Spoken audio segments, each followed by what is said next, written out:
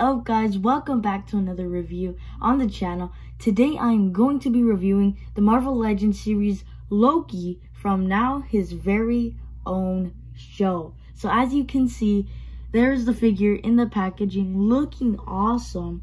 And on the side, we do have some art of Loki from the show looking great. And, and you can see on his belt saying TVA. So that's actually a really cool thing.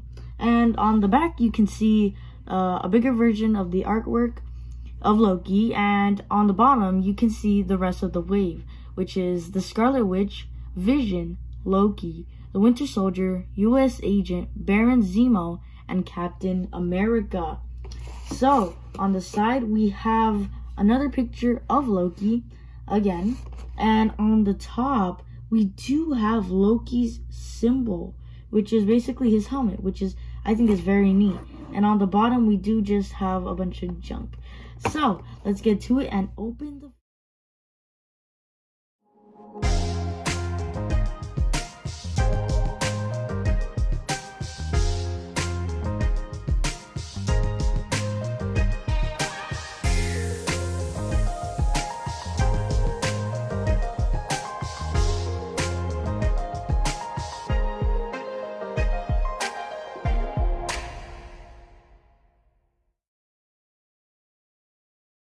Alright, so now my overall thoughts on the figure. I think this figure looks great. He looks like he came out straight from the show. And if you notice, I did put a knife here. Just saying, a disclaimer, he does not come with a knife. I put that there. Yeah, there's no accessories accessories on the figure, which is kind of a bummer, but eh, it's fine. I improvise. But as you can see, like, the head sculpt just, it looks so good. It, it looks like Tom Hiddleston. And on the back of the figure, it's cool because you can see it says variant because he is a variant in the show. So yeah, that's really, really cool. The show is absolutely amazing. And this figure just, it just, it's just, I don't know. I don't even have words. That's just how great it is. And I did mention earlier that on his belt, it did say TVA.